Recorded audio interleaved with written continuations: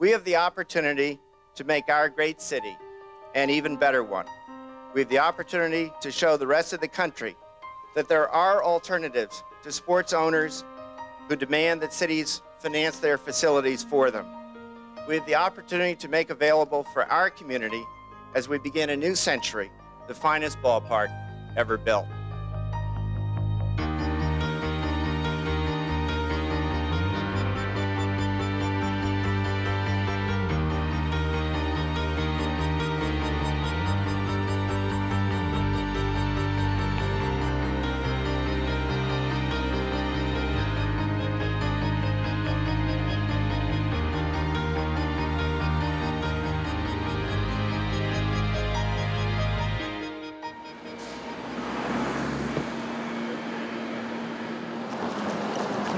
Yeah, yeah, that's it. Same, same guy still there? Um, yeah, the same guy still there.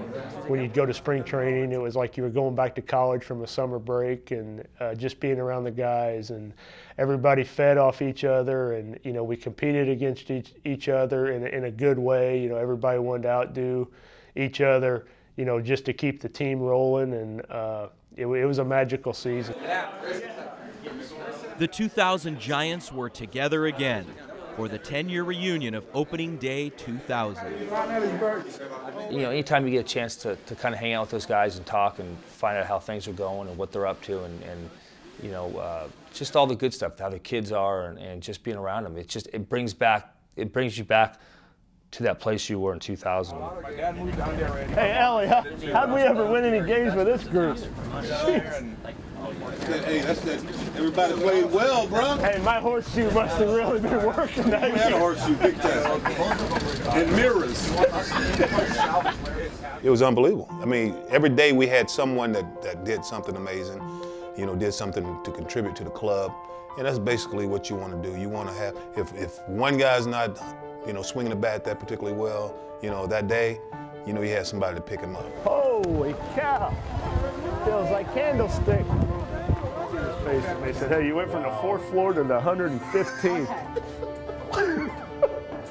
It was easy to see why these memories are so vivid for members of the 2000 Giants.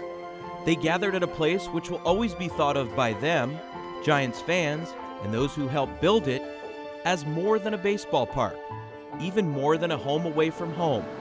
AT&T Park, or its original name, Pacific Bell Park, will serve as a lasting image ingrained in the life memories and life legacies of the individuals responsible for keeping baseball in the city by the bay.